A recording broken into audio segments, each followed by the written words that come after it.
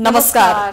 Prime समाचारमा स्वागत छ। म सुषमा श्रेष्ठ। म सङ्गीता कटवाल। सुरु गरौँ अहिलेसम्मका प्रमुख समाचारबाट। समानान्तर सत्ता सञ्चालनको अभ्यास भएपछि बाध्य भएर संसद विघटन गरेको प्रधानमन्त्री ओलीको भनाई तीन वर्षमा उल्लेखनीय काम गरेको विवरण सार्वजनिक।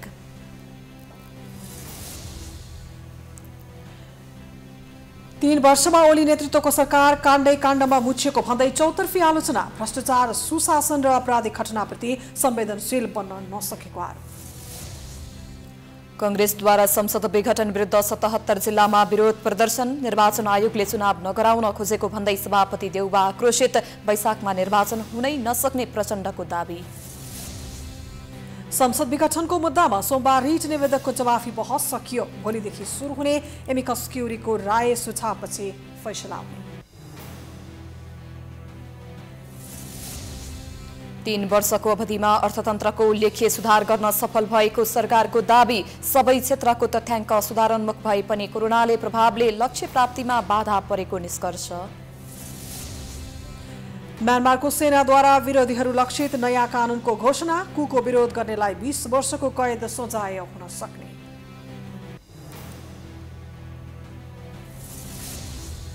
र राष्ट्रिय महिला लिग फुटबलमा एपिएफ क्लबसँग नेपाल पुलिस पराजित विराटनगरले वालिङलाई हरायो।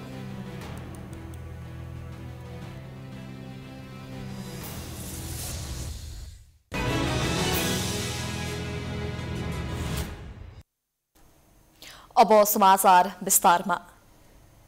केपी ओलीको नेतृत्वमा सरकार बनेको आज तीन वर्ष पूरा भएको छ। यो अवधिमा सरकारले उल्लेख्य काम गर्न नसकेको भनेर निकै आलोचना भइरहेको छ।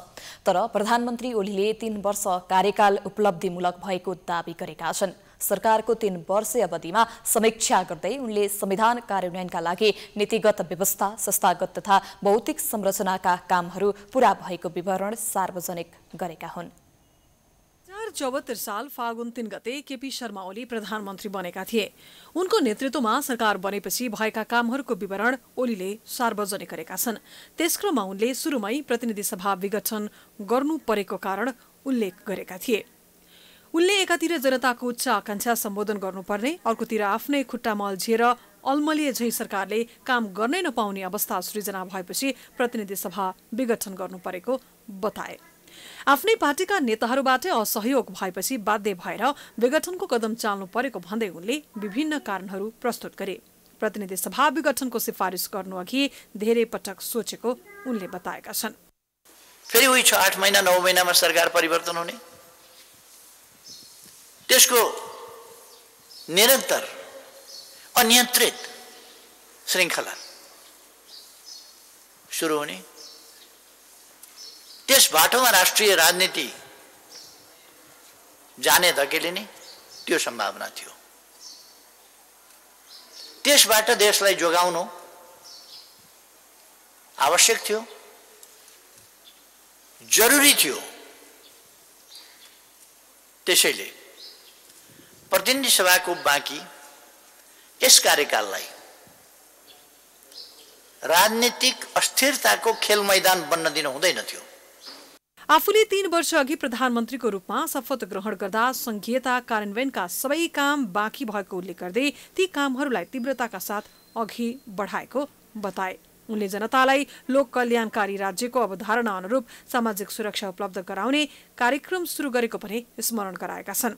सामाजिक सुरक्षाको दायरा बढाइएको भन्दै विभिन्न आठ प्रकारका सामाजिक सुरक्षा भत्ता पाउनेको संख्या पाँच लाखले थप भई तीस लाख साठी हजार पुगेको बताए। सामाजिक सुरक्षामा वा अन्य निवृत्ति भरण कोषमा आबद्ध भएकाहरूले पनि सहभागी हुन पाउने गरी नागरिक लगानी कोष मार्फत थप नागरिक पेन्सन कार्यक्रम समेत कार्यान्वयनमा ल्याइएको उल्लेख गरे। सबै ज्येष्ठ नागरिकको लागि एक लाखसम्मको निशुल्क स्वास्थ्य बिमाको व्यवस्था गरिएको छ। सामाजिक सुरक्षामा वा अन्य निवृत्ति भरण कोषमा आबद्ध भएकाहरूले पनि सहभागी हुन पाउने गरी नागरिक लगानी कोष मार्फत थप नागरिक पेन्सन कार्यक्रम समेत कार्यान्वयनमा ल्याइएको छ। सुशासन र भ्रष्टाचार विरुद्धको अभियान सफल भएको प्रधानमन्त्रीको दावी छ। म आफू भ्रष्टाचार गर्दिन र अरूलाई पनि गर्न दिन्न भन्ने भनाइ दोहोर्याउँदै उनले दुराचारी र दुराचार भ्रष्ट र भ्रष्टाचारका सन्दर्भमा मुखमा पानी हालेर बोल्ने आफ्नो बानी नभएको जिकर गरे। यस अवधिमा भ्रष्टाचार राजस्व चुहावट र सम्पत्ति शुद्धिकरण अन्तर्गत कुल एक हजार एक सय चौवन्न मुद्दा दर्ता भएका मध्ये थप सात सय छत्तिस मुद्दा दायर भएको र बिगो दावी रु चार हजार आठ सय दस करोड गरिएको तथ्याङ्क उनले उल्लेख गरेका छन्। त्यसै गरी राजस्व चुहावटको कसुरका दुई सय पन्ध्र मुद्दामा एघार राष्ट्र सेवक कर्मचारीसहित सात सय पचपन्न जना विरुद्ध बत्तीस अर्ब उना अस्सी करोड नब्बे लाख बिगो असुल गरी जरिवाना र कैद सजाय माग गरी मुद्दा चलाइएको बताएका छन्। विदेशी विनिमय अपचलन तथा अवैध हुण्डी कारोबार झुटा नक्कली विजक बनाउने जस्ता भ्रष्टाचार जन्य काममा सफलता हासिल गरेको प्रधानमन्त्रीको दावी छ। यस वर्ष अख्तियार दुरूपयोग अनुसन्धान आयोगले इतिहासमै सबैभन्दा धेरै मुद्दा दर्ता गरेको पनि उनले बताए। यस वर्ष अख्तियार दुरुपयोग अनुसन्धान आयोगले इतिहासमै सबैभन्दा धेरै मुद्दा दर्ता गरेको छ। विशेष अनुसन्धानबाट मुद्दा दायर गरिएको सङ्ख्या तिन वर्ष पहिले एक सय चौरानब्बे थियो। यस आर्थिक वर्षमा मात्रै चार सय एकचालिस छ। कुल बिगो दाबी रकम पहिले रु चार चाल चालिस दशमलव छ करोड थियो भने अहिले रु दुई सय त्रिपन्न दशमलव सात करोड रहेको छ। शान्ति सुरक्षा र राष्ट्रिय एकता कायम गर्न पनि सफल भएको प्रधानमन्त्रीको भनाइ छ। संक्रमणकालीन न्यायको सन्दर्भमा सत्य निरूपण तथा मेलमिलाप आयोग र बेपत्ता नागरिक छानबिन आयोगका कामलाई निरन्तरता दिन अध्यादेश जारी गरिएको पनि उनले जानकारी दिए। सीमा विवादको सवालमा नेपालको वास्तविक नक्सा सार्वजनिक गरिएको विषयलाई प्रधानमन्त्रीले उपलब्धिको रूपमा उल्लेख गरेका छन्। वार्ता र कूटनीतिक माध्यमद्वारा समस्या हल गर्ने हाम्रो चाहना विपरीतका गतिविधि जारी रहेपछि सरकारले अतिक्रमित भूभागमा। अतिक्रमित भूभाग समेत सामेल गरेर नयाँ राजनैतिक र प्रशासनिक नक्सा जारी गर्ने घोषणा चालि चालु आर्थिक वर्षको नीति कार्यक्रम मार्फत गर्यो। नक्सा जारी मात्र गरेन। निशान छापमा नयाँ नक्सालाई समावेश गर्ने गरी संसदमा संविधान संसद संशोधनको प्रस्ताव नै प्रस्तुत गर्यो। प्रधानमन्त्री रोजगार कार्यक्रम राष्ट्रपति शैक्षिक सुधार कार्यक्रम राष्ट्रपति महिला उत्थान कार्यक्रम लगायतका कार्यक्रमहरू तीन वर्षका अवधिमा ल्याइएको भन्दै प्रधानमन्त्रीले आफ्नो कार्यकाल सफल भएको दावी गरेका छन्। केपी शर्मा ओलीले कार्यभार सम्हालेको छत्तिस महिना खासै सुखद रहेन। भ्रष्टाचारीको मुख पनि हेर्दिन भनेर लोकप्रियता कमाएका ओलीले अनियमितता गर्नेलाई प्रशय दिनेदेखि प्रतिनिधि सभा विघटन जस्तो साख गुम्ने काम समेत गरे। ओली सरकारको तीन वर्षमा के कस्ता नराम्रा विषय चर्चामा आए त एक रिपोर्ट हत्याकाण्ड। दुई हजार पचहत्तर साउन दस गते कञ्चनपुरकी तेह्र वर्षीय निर्मला पन्तको बलात्कारपछि हत्या भयो। पन्तको बलात्कार तथा हत्याकाण्ड भएको अहिले साढे दुई वर्ष पुरा भयो तर अहिलेसम्म सत्य तथ्य बाहिर आएको छैन। होली वाइन काण्ड। दुई हजार पचहत्तर मङ्सिर दोस्रो साता विभिन्न धार्मिक सङ्गठनको संलग्नतामा नेपालमा भएको एसिया पेसिफिक समिट दुई हजार अठारले सरकारलाई विवादमा तान्यो। समिटको अन्तिम दिन सम्पन्न होली वाइन कार्यक्रमले यो समिटलाई थप विवादास्पद बनायो। दल बलसहित कार्यक्रम स्थलमै बास बस्न प्रधानमन्त्री केपी शर्मा ओली नै पुगेपछि सरकार धर्म प्रचारमा लागेको आरोप लाग्यो। वाइडबडी काण्ड वाइडबडी खरिदमा भ्रष्टाचार भएको भन्दै प्रतिनिधि सभा र सार्वजनिक लेखा समिति मातहत गठित उपसमितिले नेपाल वायुसेवा निगमको वाइडबडी विमान खरिद प्रकरणमा चार अर्ब पैँतिस करोड छप्पन्न लाख घोटाला भएको प्रतिवेदन बुझायो तर त्यसको छानबिन गरेर दोषीलाई कानुनी दायरामा ल्याउने काम हुन सकेन। गुठी विधेयक काण्ड। सरकारले दुई हजार छिहत्तर जेठमा गुठियारहरूसँग कुनै छलफल नगरी गुठी सम्बन्धी कानुनलाई एकीकरण र संशोधन गर्न बनेको विधेयक ल्यायो। गुठी जग्गा जाँचबुझ गर्न बनेको आयोगको प्रतिवेदन आउनुभन्दा पहिल्यै ल्याइएको विधेयकले राष्ट्रव्यापी आन्दोलनको सिर्जना गर्यो जसले गर्दा सरकार पछि हटेर विधेयक फिर्ता लिन बाध्य भयो। एमसिसी काण्ड। अमेरिकी सहयोग परियोजना मिलेनियम च्यालेन्ज कर्पोरेसन एमसिसी सम्झौता संसदबाट अनुमोदन गर्ने विषयमा सरकार विवादमा तानियो। सम्झौतामा केही राष्ट्र हित विरोधी प्रावधान रहेको भन्दै हुबहु कार्यान्वयनमा लैजान नहुने आवाज उठेपछि सरकारले त्यसलाई थाती राख्न बाध्य भयो। सत्तरी करोड काण्ड। ओली नेतृत्वको सरकार नराम्ररी आलोचित भएको अर्को काण्ड हो सत्तरी करोडको भ्रष्टाचार काण्ड। सूचना तथा सञ्चार मन्त्री गोकुल बास्कोटाले सत्तरी करोडको कमिसन मागेको अडियो बाहिरिएपछि सरकारको अलोकप्रियता झनै चुलियो तर त्यसको पनि छानबिन नगरेर सरकारको थप आलोचना भयो। अध्यादेश काण्ड। गत वैशाखमा सरकारले दुईवटा विवादास्पद अध्यादेश ल्यायो। राजनीतिक दल सम्बन्धी दोस्रो संशोधन अध्यादेश दुई हजार सतहत्तर र संवैधानिक परिषद काम कर्तव्य अधिकार र कार्यविधि सम्बन्धी पहिलो संशोधन अध्यादेश दुई हजार सतहत्तरलाई सरकारले सिफारिस गरेको केही बेरमै राष्ट्रपति विद्यादेवी भण्डारीले स्वीकृत पनि गरिन्। सरकारले आफ्नै पार्टीमा समेत छलफल नगरी ल्याएको अध्यादेशको चौतर्फी विरोध झेल्न नसकेपछि सरकारले केही दिनमै फिर्ता लियो। सांसद अपहरण काण्ड। विवादित दुईवटा अध्यादेश ल्याए लगत्तै ओलीको निर्देशनमा पूर्व आइजिपी सर्वेन्द्र खनाल र नेकपाका सांसदद्वय महेश बस्नेत र किसान श्रेष्ठद्वारा जसपाका नेता डाक्टर सुरेन्द्र यादवलाई उनको निवास जनकपुर धामबाटै अपहरण शैलीमा रातारात उठाएर काठमाडौँ ल्याएपछि आलोचनाको अर्को श्रृङ्खला सुरु भयो। ओम्नी काण्ड। कोरोना महामारीका बीच सरकारले संक्रमण रोकथाम तथा नियन्त्रणमा प्रयोग हुने स्वास्थ्य सामग्री खरिदको जिम्मा ओम्नी बिजनेस कर्पोरेसन इन्टरनेसनललाई दियो। जब संक्रमण फैलिन थाल्यो स्वास्थ्य सामग्री आयातमा अनुभव नै नभएको ओम्नीलाई सरकारले हतारमा महँगो मूल्यमा सामान ल्याउन स्वीकृति दियो। उक्त स्वास्थ्य सामग्री खरिदमा करोडौँको घोटाला भएको आशंका गरे पनि सरकारले गुपचुप नै राखेको छ। संसद विघटन काण्ड। ओलीले संविधानमा कहीँ कतै नभएको अधिकार प्रयोग गर्दै प्रतिनिधि सभा विघटन गरे। विघटन पश्चात सत्तारूढ दल नेकपा पनि दुई पक्षमा विभाजित भएको छ। उता उनको यो कदम सर्वोच्चमा पुगेको छ। तर ओली अहिले पनि सर्वोच्चलाई धम्क्याउने र स्वतन्त्र फैसलामा प्रभाव पार्न विभिन्न धम्की दिन थालेका छन्। यी तमाम काण्डहरूले अन्तत सरकारको छविमा दाग लगाइरहेको छ। सरकारसँगै यी काण्डहरूले सत्तारूढ दलको छविलाई पनि जनतामाझ धमिलो बनाइरहेको छ। तीन वर्षको अवधिमा सबैभन्दा धेरै विवादित बनेको मन्त्रालय हो स्वास्थ्य तथा जनसङ्ख्या मन्त्रालय। सबैभन्दा धेरै मन्त्री फेरिएको मन्त्रालय पनि यही हो। कोरोना महामारीका बेला क्षमता देखाएर जनमत जित्ने मौका पाएको मन्त्रालयले उल्टै भ्रष्टाचार काण्डमा मुछिएर बदनाम भयो। स्थिर भनिएको ओली सरकार गठन भएपछि अस्थिर मन्त्रालय बन्न पुगेको मन्त्रालय हो स्वास्थ्य तथा जनसङ्ख्या मन्त्रालय। तीन वर्षको यो अवधिमा स्वास्थ्यमा चारजना मन्त्री फेरिए भने सातजना सचिव। तीन वर्षको अवधिमा पद्मा अर्याल उपेन्द्र यादव भानुभक्त ढकाल हृदय त्रिपाठीले मन्त्रालयको जिम्मेवारी पाए। ढकाल स्वास्थ्य मन्त्री भएको तेह्र महिनापछि त्रिपाठीलाई ल्याइएको हो। उनले अहिले स्वास्थ्य मन्त्रालयको नेतृत्व गरिरहेका छन्। यसरी तीन वर्षमा एउटै मन्त्रालयमा चारजना मन्त्री बस्दा त्यसले काममा प्रभाव अवश्य परेको हुन्छ। यही अवधिमा मन्त्रालयमा ठूलो चुनौती बन्यो कोरोना भाइरस। तर मन्त्रालयले सङ्कटका बेला क्षमता देखाएर प्रशंसा बटुल्ने मौका खेरा फाल्यो। कोरोना महामारीको बेला स्वास्थ्य तथा जनसङ्ख्या मन्त्रालय नै बदनाम हुने गरी स्वास्थ्य सामग्री खरिद काण्ड बाहिरियो। कोरोना महामारी नियन्त्रणका लागि आवश्यक स्वास्थ्य सामग्री खरिद गर्ने क्रममा मन्त्रालय मातहतका निकायले गरेको कमजोरीका कारण मन्त्री भानुभक्त ढकाल विवादमा मुछिए। बजार मूल्यभन्दा महँगो र गुणस्तरहीन सामान खरिद गरेको भन्दै सरकारको चर्को आलोचना भयो। कुनै पनि उचित हुने खालको किनभने स्वास्थ्य सामग्री खरिद गर्दा अनियमितता सरकारले गर्यो। त्यसको भागीदार त स्वयं प्रधानमन्त्री हुनुपर्थ्यो तर उहाँहरूले हरेक ठाउँमा मैले यति गरेँ। नेपालमा त कोरोना मुक्तै भइसक्यो कुनै बेला भनेको थियो त्यो असम्भव भयो। अहिले पनि त्यही दिइरहेको छ। सत्तामा छँदामा त्यही प्रतिपक्षमा छँदा गणतन्त्रको बेला बैलगाडा भने जस्तै थियो। केपी ओलीको अहिले त्यो नै मिलेको छ। संसदको सार्वजनिक लेखा समितिले स्वास्थ्य सामग्री खरिदमा घोटाला भएको निष्कर्ष निकाल्दै कारवाहीका लागि अख्तियारमा लेखेर पठाउने निर्णय गरेको छ। लेखाले निर्णय गरे लगत्तै प्रतिनिधि सभा विघटन भएका कारण पत्र भने अख्तियारमा पुगिसकेको छैन।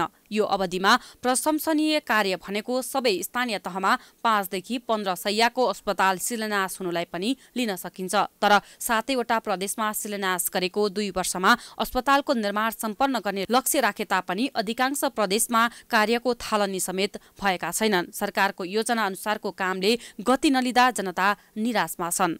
सरकारले दुई तिहाईको बहुमत पाउँदा पाउँदै पनि राम्रो काम गर्नुपर्ने ठाउँ पनि प्रशस्तै मात्रामा थियो। उहाँले गर्न सक्नुभएको भए चाहिँ देशलाई अगाडि लान सक्नुहुन्थ्यो। तर नराम्रा कामहरू चाहिँ उहाँ उहाँको पालामा चाहिँ धेरै भयो कि? उहाँको पालामा के भयो? बलात्कारका घटनाहरू धेरै भयो। अनि विभिन्न किसिमका भ्रष्टाचारहरू भए। अनि देशमा अशान्ति ल्याउने काम जस्ताहरू त्यस्ता पार्टीभित्रैबाट पार्टीको आन्दोलनबाट नै जनताहरूलाई असर पुर्याउने कामहरू गरियो। तीन वर्षका अवधिमा स्वास्थ्य बिमा कार्यक्रम भने विस्तार हुने क्रम बढ्यो। सतहत्तरवटै जिल्लामा स्वास्थ्य बिमा पुर्याउने लक्ष्य राखिएकोमा अहिलेसम्म पैँसठी जिल्लामा विस्तार भएको छ। अहिलेसम्म पच्चिस लाख दस हजारले स्वास्थ्य बिमा गरेका छन्। यो अवधिमा स्वास्थ्य संस्थाका भवन एक सय पन्ध्रवटा सहित छ सय अन्ठानब्बे निर्माण सम्पन्न भएका छन्। बैतडीकी सत्र वर्षीय किशोरी भागरथी भट्टको बलात्कारपछि हत्या भएको तेह्र दिन बितिसक्दा समेत दोषी पत्ता लगाउन प्रहरी असफल भएको छ। घटनाको अनुसन्धानका लागि सुदूरपश्चिम प्रदेश प्रहरी प्रमुख डिआइजी उत्तमराज सुवेदी लगायत नेपाल प्रहरीका विभिन्न टोलीहरू खटिएको भए तापनि हत्यामा संलग्नको पहिचान हुन सकेको छैन। हुँदै गइरहेको दावी गरे पनि तेह्र दिनसम्म सफलता हासिल गर्न सकेको छैन। प्रहरीले दुईजना शङ्कास्पद व्यक्तिलाई उच्च निगरानीमा राखेको र प्रमाणहरू जुटाउने काम गरिरहेको दावी भने गरेको छ। तर तेह्र दिनसम्म प्रहरीले हात पारेका उपलब्धिहरू सार्वजनिक नगर्दा भागरथीले न्याय पाउने कुरामा आशंका उत्पन्न हुन थालेको छ। कहीँ अब यो केस पनि निर्मलाको जस्तै हल्का हुने त होइन भन्ने एक किसिमको त्यो यहाँको पब्लिकमा त्यो त्रास सिर्जना भएको अवस्था छ। अर्को कुरो के के पनि छ भनेपछि प्रहरी अब त्यहाँ छ परिचालन गरिरहेको छौँ भन्छ अनि केही न केही त सूचना बाहिर आउट गर्नुपर्ने हो नि त। हामीले यो गरिरहेछौँ यतिजनालाई थुनिरहेको छौँ यो भएको भएपछि पनि जनता एक किसिमले आशावादी हुन्थे। कतिखेर आश पनि लाग्छ र कतिखेर आश मरेर पनि आउँछ। भागरथीका आफन्तले हत्या र पत्ता नलागेसम्म लास नबुझ्ने अडान लिएपछि भागरथीको सब जिल्ला अस्पतालमै रहेको छ। अहिले दिनहुँ अधिकार कर्मीहरू राजनैतिक दलका नेताहरू जनप्रतिनिधिहरू भागरथीको घर पुगे दोषीमाथि कार्यवाहीको माग गर्दै आएका छन्।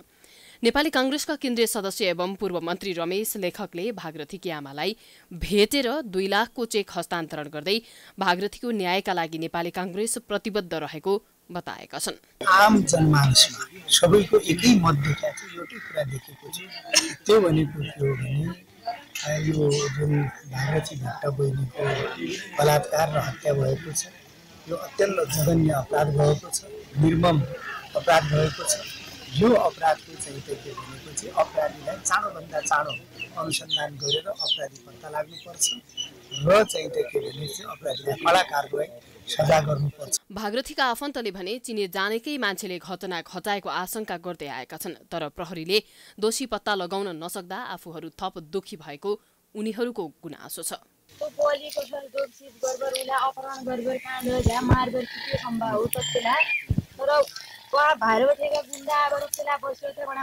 भेटे साम सामने जागा मान्छे हिट्या हिट्या ना दुई तिन बजेतिर भागरथीको न्यायका लागि काठमाडौँ लगायत जिल्लाहरूमा विभिन्न सङ्घर्षका कार्यक्रमहरू भइरहेका छन्। प्रहरीले छिटोभन्दा छिटो भागरथीको हत्यारा सार्वजनिक नगरेमा आन्दोलन चर्काउने अधिकार कर्मीहरूले चेतावनी दिँदै आएका छन्। भागरथी गत माघ एक्काइस गते बुधबार विद्यालयबाट घर फर्कने क्रममा बेपत्ता भएकी थिइन्। माघ बाइस गते घर नजिकैको जंगलमा उनको सब फेला परेको थियो। बैतडीबाट जनक साउदको रिपोर्ट। समाचारको सिलसिला जारी छ। हामी विश्रामपछि आउँछौँ।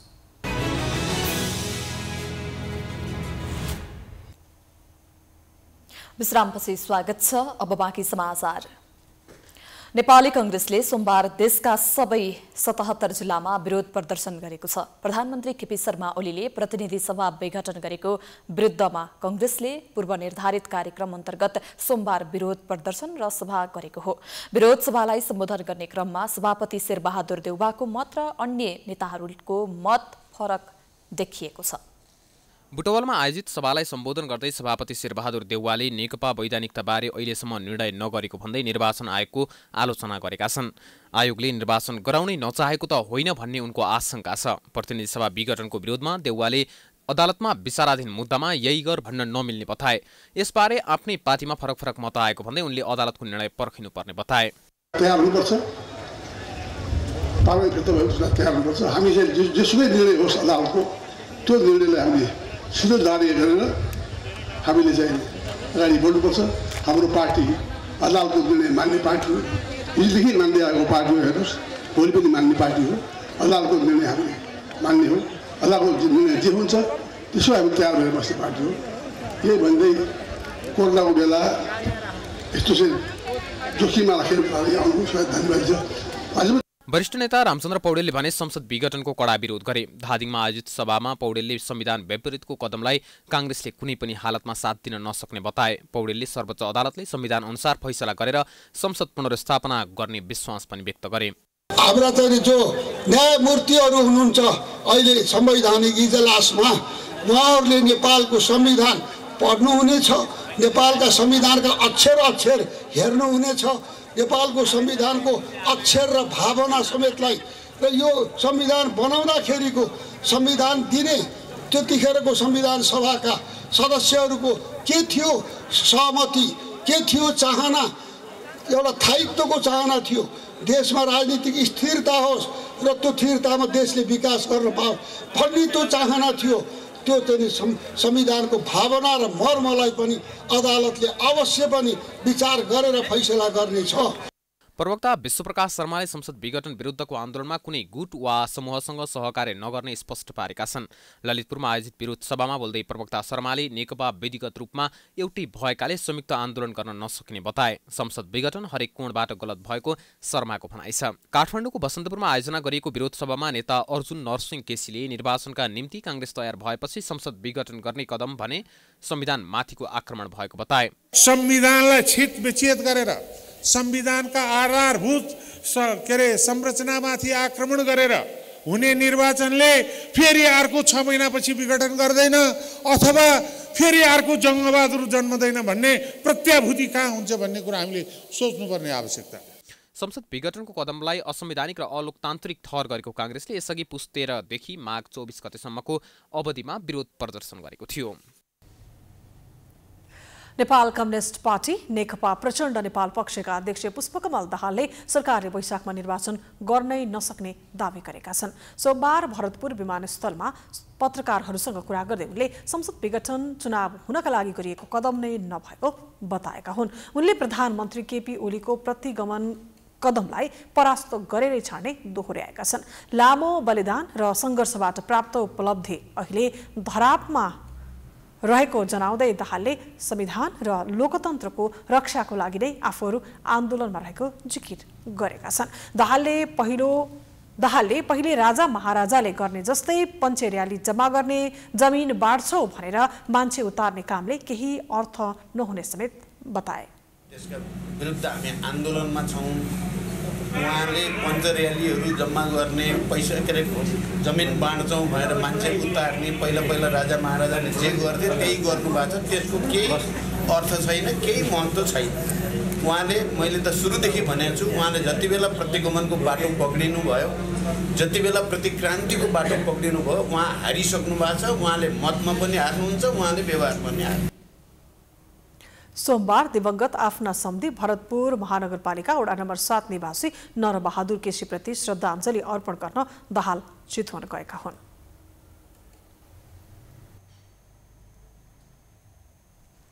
संसद विघटनको मुद्दामा सोमबार रिट निवेदकको जवाफी बहस सकिएको छ। अब मंगलबारदेखि अदालतको सहयोगी एमिकस केउरीको बहस सुरु हुनेछ। यो मुद्दामा सर्वोच्च अदालतले नेपाल बार एसोसिएसनबाट तीनजना र सर्वोच्च अदालत बार एसोसिएसनबाट दुईजना एमिकस केउरी माग गरेको थियो। नेपाल बारले भीमबहादुर कार्की विजयकान्त मैनाली र सतीश कृष्ण खरेल तथा सर्वोच्च अदालत बार एसोसिएसनबाट पूर्णमान साकी र खगेन्द्र अधिकारी एमिकस केउरीको रूपमा चयन भएका छन्। उनीहरूले कुनै पक्ष विपक्षमा नरही अदालतलाई राय दिनेछन्। एमिकस क्युरीको रायपछि फैसला आउनेछ। यसअघि आइतबार र सोमबार रेट निवेदकका तर्फबाट जवाफी बहस भएको थियो। संसद विघटनको मुद्दा सर्वोच्च अदालतमा प्रधान न्यायाधीश सोलेन्द्र शमशेर जबरा न्यायाधीशहरू विश्वम्बर प्रसाद श्रेष्ठ अनिल कुमार सिन्हा सपना प्रधान मल्ल र तेजबहादुर केसी सम्मिलित संवैधानिक इजलासमा सुनवाई भइरहेको छ।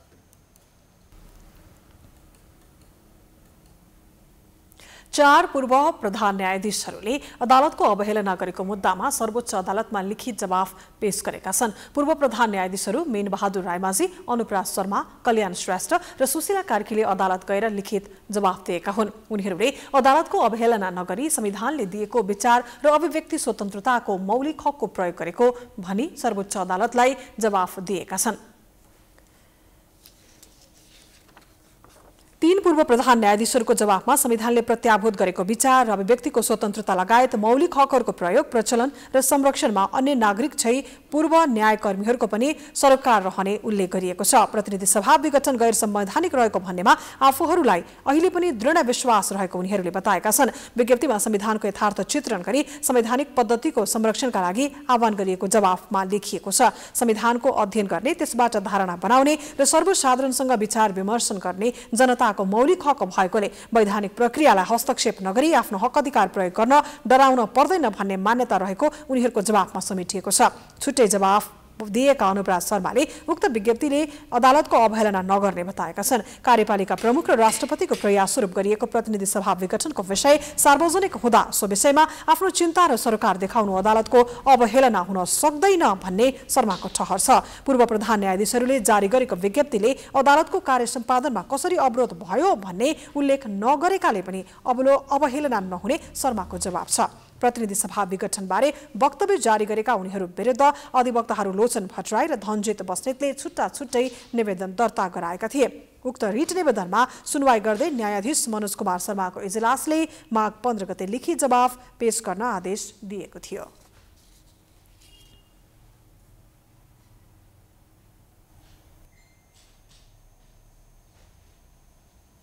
पछिल्लो चौबिस घण्टामा नेपालमा तीन हजार पाँच सय एकचालिस जनाको पिसिआर परीक्षण गर्दा एक सय बाइस जनामा संक्रमण पुष्टि भएको छ। पछिल्लो चौबिस घण्टामा देशभर एक सय बाइस जनालाई कोरोना भाइरस संक्रमण पुष्टि भएको छ। स्वास्थ्य तथा जनसङ्ख्या मन्त्रालयका अनुसार तीन हजार पाँच सय एकचालिस जनाको पिसिआर परीक्षण गर्दा काठमाडौँ उपत्यकामा त्रिहत्तर जना सहित थप एक सय बाइस जनालाई कोरोना पोजिटिभ देखिएको हो। आज थपिएकासँगै नेपालमा कोरोना संक्रमितको संख्या दुई लाख बहत्तर हजार आठ सय चालिस पुगेको छ। संक्रमण पुष्टि भएका मध्ये दुई लाख उनासत्तरी हजार दुई सय चारजना निको भएका छन्। पछिल्लो चौबिस घण्टामा एक सय चौवालिस जनाले कोरोना जिते। संक्रमित मध्ये अन्ठानब्बे दशमलव सात प्रतिशत निको भएका छन्। यसै गरी चौबिस घण्टामा एकजनाको मृत्यु भएको छ। हालसम्म कोरोना संक्रमितको मृत्युको संख्या दुई हजार पचपन्न रहेको छ। आज सक्रिय संक्रमितको संख्या एक हजार पाँच सय एकासी रहेको छ भने उनीहरूमध्ये नौ सय जना संस्थागत आइसोलेसनमा उपचाररत रहेका छन्। भने बाँकी ओम होम आइसोलेसनमा रहेका छन्। उपचारमा रहेका मध्ये उनासठी जना आइसियू र सत्र जनाको भेन्टिलेटरमा उपचाररत रहेका छन्। सोमबार देशभरका क्वारेन्टिनमा उनासी जना रहेका छन्।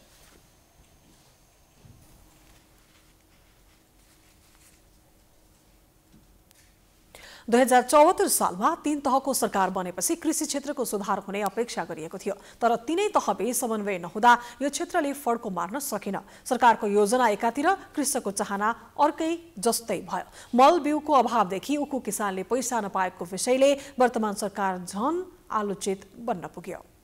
देशकै मेरुदण्डको रूपमा रहेको कृषि क्षेत्रले उल्लेख्य प्रगति गर्न सकेको छैन। सम्भावना हुँदाहुँदै पनि निर्वाहमुखी मात्रै बनेको नेपालको कृषि परनिर्भर रहेको छ। तीन तहको सरकार बनेपछि कृषकले सरकारबाट जुन आशा गरेका थिए त्यो भने पूरा हुन सकेन। यो तीन वर्षको अवधिमा पनि कृषि क्षेत्रमा तीन तहका सरकारबीच समन्वयकै अभाव रहेको छ। सरकारले नीति तथा कार्यक्रममा कृषि क्षेत्रको विकासका लागि भनेर विभिन्न कार्यक्रमहरूको घोषणा गरे पनि ती कागजमै मात्र सीमित हुन पुग्यो। दक्ष जनशक्तिको पदपूर्ति हुन नसक्दा घोषणा गरेका कार्यक्रमहरूको कार्यान्वयनमा सरकार असफल भयो। संहिता लागू भएपछि कृषिमा धेरै अप्ठ्याराहरू थिए। र ती अप्ठ्याराहरू अझै पनि छन्। ती अप्ठ्यारोको बावजुद पनि कृषि मन्त्रालयले केही न केही प्रगति चाहिँ गरेको छ तर सोचे जस्तो प्रगति गर्न सकेको छैन। अब सङ्घीय र स्थानीयसँगको समन्वय त्यो अहिलेसम्म हुन सकेको छैन। र सुरुदेखि चाहिँ तिन वर्षदेखि त्यही कुरामा मन्त्रालयले झेलिरहेको छ। पहिलो कुरो त्यो छ। भने दोस्रो कुरा के छ भने अब मेन पावर है? हाम्रो मेन पावर चाहिँ अहिले चाहिँ जति हुनुपर्ने स्थानीय निकायमा र प्रदेश सरकारमा त्यो किसिमको मेन पावर चाहिँ अत्यन्त कमी छ। कमी भन्दा पनि अलिअलि कमी पनि होइन सत्तरी प्रतिशत कमी छ। र मेन पावरै भएन र समन्वय भएन भने जति जस्तो राम्रो पोलिसी बनाए पनि त्यसले चाहिँ उपलब्धि चाहिँ हासिल चाहिँ गर्दैन। कृषकहरूको अगुवा कृषि मन्त्रालयले अझै पनि जनशक्तिको अभाव झेल्नु परेको छ। स्थानीय प्रदेश र सङ्गरित तीनवटै तहमा दक्ष प्राविधिक जनशक्ति पद पूर्ति गर्न नसकेको र तीन तहको सरकारबीच समन्वयको अभाव देखिएको सरकारी अधिकारीले स्वीकारेका छन्। हामीलाई पनि लागेको पुँजीगत सुधारका कार्यक्रमहरू जति जति चाहिँ हाम्रो चाहिँ कार्यक्रम थियो त्यसमा चाहिँ आशातीत सफलता हुन सकेको छैन। त्यसमा दुई तिनवटा कुराहरू सँगसँगै आउँछ। एउटा त हामीसँग प्राविधिक जनशक्ति नै हामीले पूर्ति गर्न सकेनौँ। काम गर्ने जनशक्ति लियो। जनशक्ति नै नभएपछि त अनि चाहिँ काम गर मात्रै भनेर भएन। दोस्रो नम्बरमा समन्वयात्मक चाहिँ एउटा जुन चाहिँ वातावरण बन्नुपर्ने हो। त्यसमा चाहिँ अलिकति हामीले चाहिँ नि कानुनी रूपमा नै त्यसलाई चिर्न सकेनौँ यो अवधिमा भन्ने लाग्दछ मलाई। रासायनिक मलको अभाव वर्षनी झेलेका कृषकले यो वर्ष पनि त्यस्तै अभाव झेल्न पर्यो। सिजनकै समयमा मलको अभाव भएपछि मल बिने कृषकले धान रोप्न बाध्य भए। उखु किसानहरूको अवस्थालाई हेर्ने हो भने उखु किसानहरू वर्षौंदेखि उखु भुक्तानीका लागि सड़कमा निस्किएर आन्दोलन गर्न बाध्य भए। जुनसुकै सरकार रहे पनि उखु किसानहरूलाई झुलाउने काम मात्रै भएको देखिन्छ। अहिलेसम्म पनि सबै उखु किसानले उखुको भुक्तानी पाउन सकेका छैनन् तर केही सकारात्मक पक्ष पनि रहेका छन्। यो वर्ष रासायनिक मलको अभावमा पनि धान रोपेका कृषकहरूले यही वर्ष सबैभन्दा धेरै धान उत्पादन गर्न सफल भएका छन्। आर्थिक वर्ष दुई हजार सतहत्तर अठहत्तरमा छप्पन्न लाख मेट्रिक टन उत्पादन भएको देखिन्छ। अहिले पछिल्लो समयमा लामो समयसम्म विदेश बसेर फर्किएका युवाहरूद्वारा सञ्चालनमा रहेका निजी क्षेत्रका कृषि सम्बन्धी कम्पनीहरू जनता कृषि कम्पनी लिमिटेड जस्ता कम्पनीहरू सञ्चालनमा रहेका छन्। यसै गरी कृषिलाई आधुनिकीकरण सम्बन्धी विभिन्न व्यवसायमूलक कार्यक्रम अहिले गाउँ गाउँमा सञ्चालनमा रहेका छन्। कृषकहरूमा जागरूकता बढाउने खालका फलफूल बिरुवा वितरण कार्यक्रम पशुपन्छी सम्बन्धी विभिन्न कार्यक्रम अहिले स्थानीय तहले सञ्चालन गरिरहेका छन्। पछिल्लो समयमा सरकारले कृषि सम्बन्धी विभिन्न खालका एप्सहरू पनि सञ्चालनमा ल्याएको छ जसले गर्दा कृषि सम्बन्धी जानकारी तथा सूचनाहरू पाउन कृषकलाई सजिलो भएको छ। प्राइम टाइम्स टेलिभिजनका लागि क्यामेरामा अर्जुन भण्डारीको साथमा मनिषा भण्डारी काठमाडौँ। समाचारको सिलसिला अझै जारी छ। हामी विश्राम पछि आउँछौँ।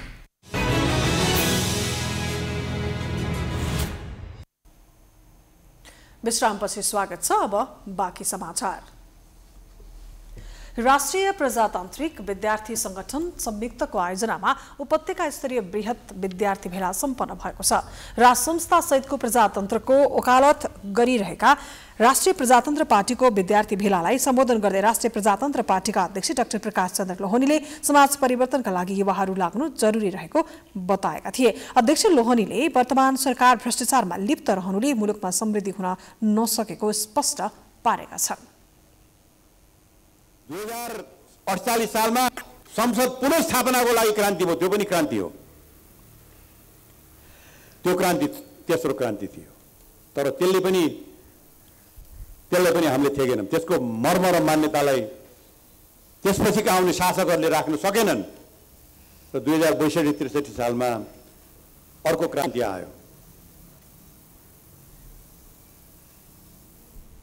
आएको क्रान्तिबाट अब दुई दोस्रो क्रान्ति अब अब यो चौथो क्रान्तिबाट चाहिँ अब नेपालमा राजनीतिक समस्या समाधान भयो। अब शान्ति सुख शान्ति र समृद्धि हो अब। अब हामी गर्न सक्छौँ।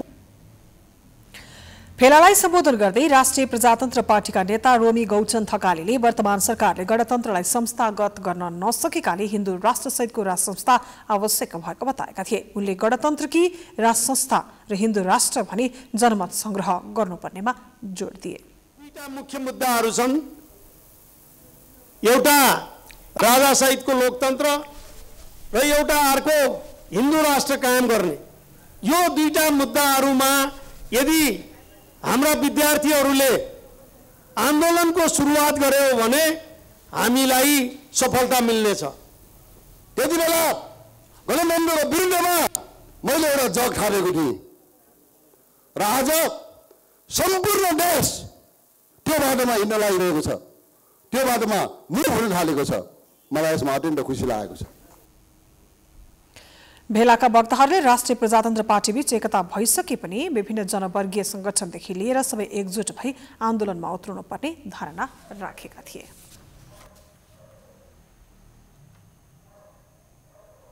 अब आर्थिक समाचार।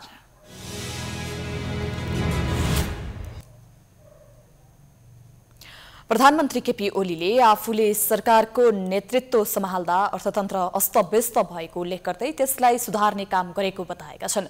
अन्यलमा रुमलिएको अर्थतन्त्रले सरकार गठनको वर्ष दिन पुरा हुँदा नहुँदै लय समात्न सफल भएको उनको जिकिर छ। तीन वर्षमा अर्थतन्त्रमा के के सुधार भयो त हेरौँ प्रधानमन्त्री ओलीले दावी गरेका तथ्याङ्कहरू। सरकारको पहिलो वर्षमा करिब सात प्रतिशतको आर्थिक वृद्धि भयो।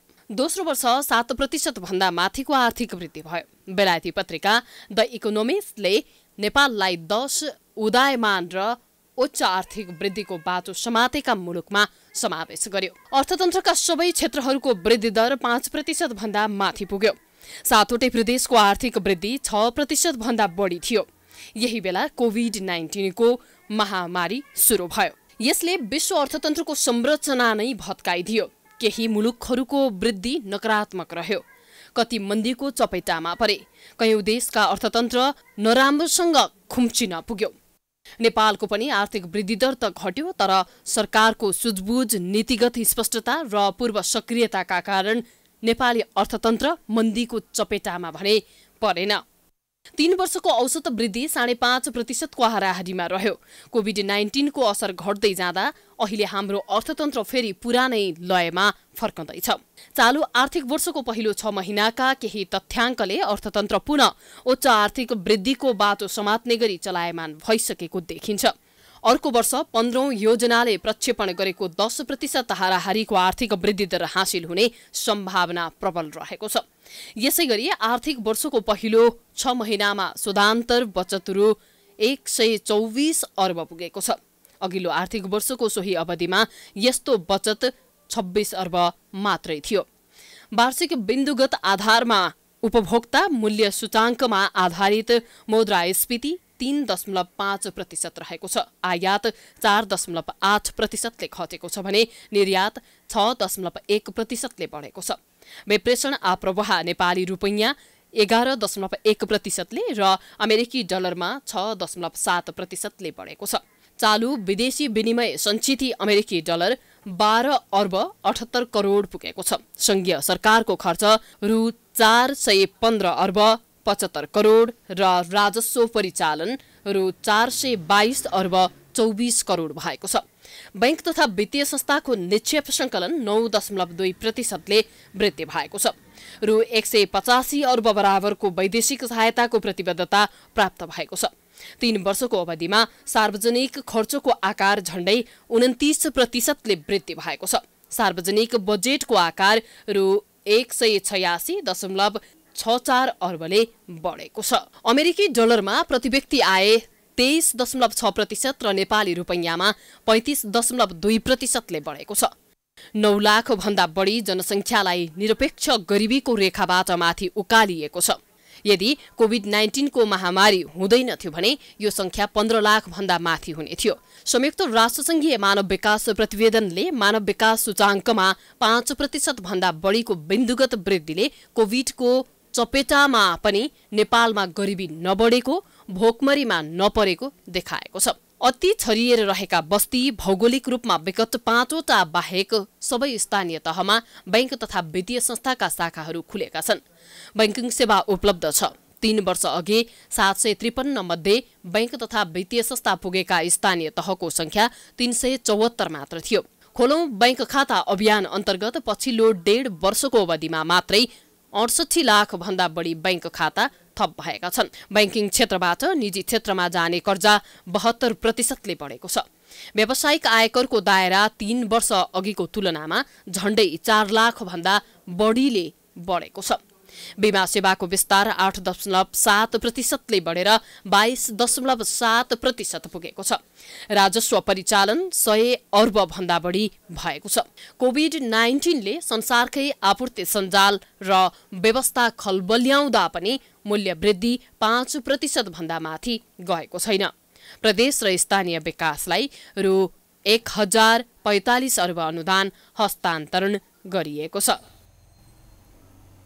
वैदेशिक रोजगारमा दैनिक हजार युवाहरू विदेश पलायन हुने गर्दछन्। सूचना र सिप नभएका नेपाली कामदारहरू पाइलै पछि ठगीमा पर्ने क्रम पनि बढ्दो छ विभिन्न सपना बोकेर गएका युवाहरू कफिनमा आउने सङ्ख्या पनि उत्तिकै छ।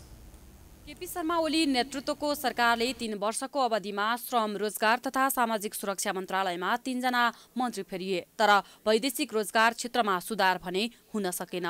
सुरुमा मन्त्री बनेका गोकर्ण विश्वले वैदेशिक रोजगार क्षेत्रमा विभिन्न योजनाहरू ल्याए तर त्यो योजना कार्यान्वयनको पाटोमा भने खासै प्रगति देखिँदैन।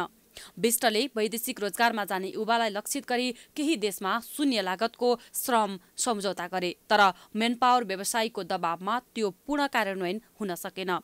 विष्टकै पालामा वैदेशिक रोजगारीमा जानेहरूका लागि श्रम स्वीकृत सहज बनाउन काठमाडौँ बाहिर छ स्थानबाट सेवा सुरु भयो। वैदेशिक रोजगारीको सिलसिलामा विदेशमा मृत्यु भएका नेपालीहरूको शव बुझ्ने व्यवस्थाका लागि त्रिभुवन अन्तर्राष्ट्रिय विमानस्थलमा शव बुझ्ने छुट्टै कक्षको रूपमा वैदेशिक रोजगार सहायता कक्ष र वैदेशिक रोजगार सूचना केन्द्रको स्थापना गरे। वैदेशिक रोजगारी क्षेत्रमा हुने गरेका समस्या समाधानका लागि धेरै पक्षबाट असहयोग हुने गरेको सम्बन्धित निकायका उच्च अधिकारीहरू नै गुनासो गर्छन्। सुधार गर्न खोजे पनि असफल बनाउने तत्त्वहरू हावी हुने गरेको वैदेशिक रोजगार विभागका महानिर्देशक कुमार प्रसाद दाहाल बताउँछन्।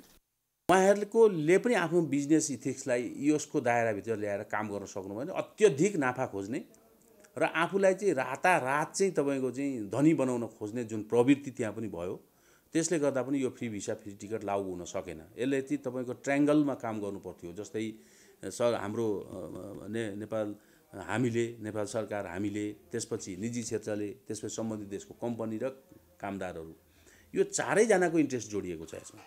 र उ काम गर्न सक्नु पर्थ्यो त्यो काम पनि हामीले हामीले गर्न सक्यौँ यसमा यसमा कोअपरेटिभ पार्टिसिपेटिभ हिसाबले हामीले त्यो पनि काम गर्न सक्यौँ र यसको वास्तवमा फाइदा सेयर यसको बेनिफिट के छ भन्ने कुरोले हामीले चाहिँ यसको चाहिँ प्रवर्धन गर्न पनि हामीले सक्यौँ एक्चुअली यो नराम्रो कुरो होइन यति राम्रो कुरा हो यो।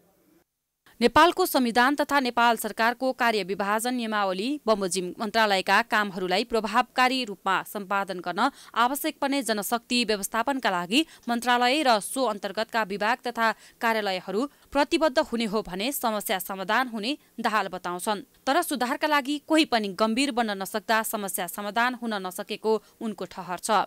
रूपमा पनि केही भयो भने मिडियाहरूले सबै सेक्टरहरूलाई कभरेज गरिराखेको छ अहिले। अलिकति हाम्रो हाइरेकिल्ली एउटा डिसिप्लिन छ डिसिजन गर्दा हाम्रा कानुन छन् पद्धतिहरू छन् यो राम्रो कुरा हो। अति राम्रो गभर्नेन्स सेक्टर भनेकै यही हो। तर यसभित्र नराम्रो कुरो के छिरिदियो भन्दा प्रवृत्ति।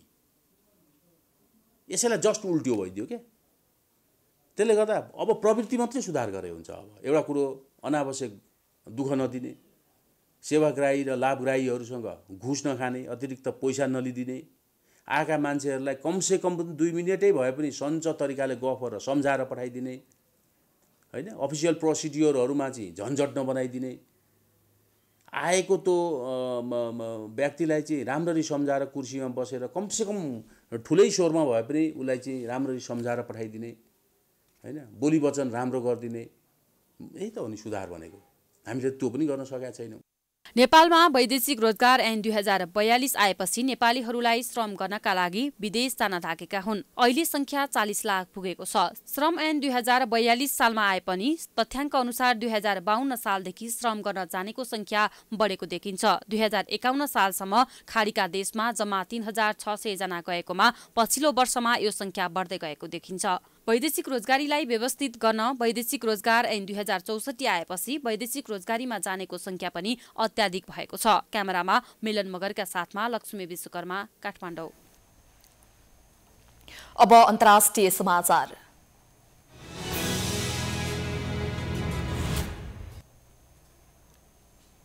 म्यानमारका सेनाले सैनिकको विरोध गर्नेहरूलाई बीस वर्षको कैद सजाय तोकेको छ। अब म्यानमारमा प्रदर्शनकारीले सैनिक बलमाथि अवरोध पुर्याउनेलाई जेल सजाय हुने भएको छ।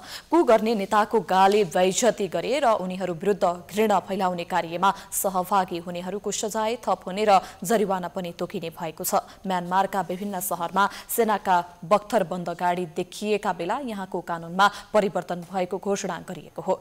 हालैका दिनमा म्यानमारमा हजारौं जनता सडकमा उत्रिएका छन्। प्रदर्शनकारीले आफ्ना आङसाङ आङसान सुकी लगायत थुप्रै नेता रिहाका साथै प्रजातन्त्र पुनर्स्थापनाको माग गरिरहेका छन्। आङसान सुचीले नेतृत्व गरेको सरकार अपदस्थ गर्दै सेनाले कु गरेको थियो। सैनिकको विरोधमा दैनिक प्रदर्शन भए पनि सेनाले दमन गर्दै आएको छ।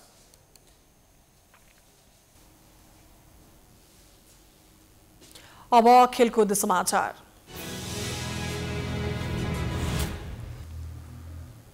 राजधानीमा जारी राष्ट्रिय महिला लीग फुटबलमा शीर्ष स्थानको एपीएफ क्लबले कठिन जित निकालेको छ।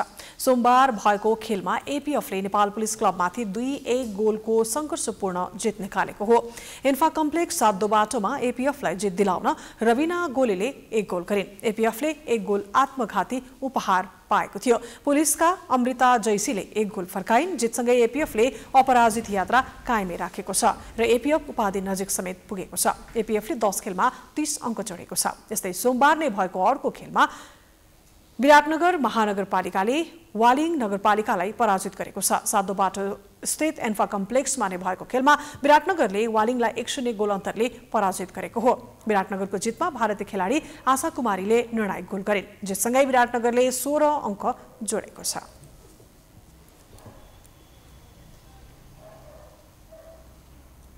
यो सँगै हामी समाचारको अन्तिममा आइपुगेका छौँ। जाँदा जाँदै प्रमुख समाचार पुनः एकपटक। समानान्तर सत्ता सञ्चालनको अभ्यास भएपछि बाध्य भएर संसद विघटन गरेको प्रधानमन्त्री ओलीको भनाई तीन वर्षमा उल्लेखनीय काम गरेको विवरण सार्वजनिक।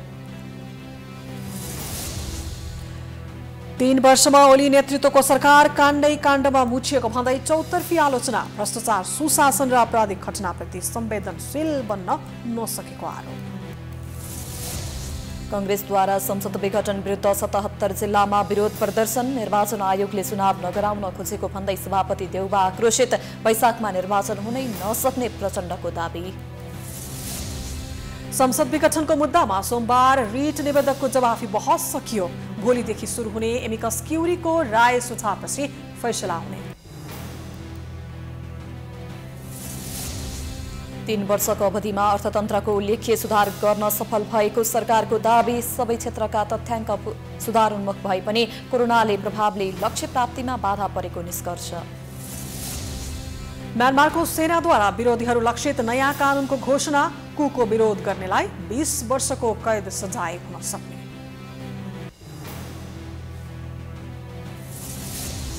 र राष्ट्रिय महिला लिग फुटबलमा एपीएफ क्लबसँग नेपाल पुलिस पराजित विराटनगरले वालिङलाई हरायो।